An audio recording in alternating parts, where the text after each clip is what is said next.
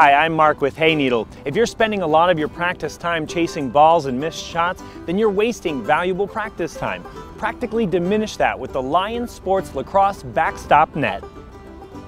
Steel poles hold up a white nylon netting that expands 10 feet wide by 10 feet high. So set it up in your backyard or park and stop worrying about missed shots on goal and keep focused on practice. Eliminate on the field and practice excuses with the Lion Sports Lacrosse Backstop Net, another top flight sport accessory from Hayneedle.com.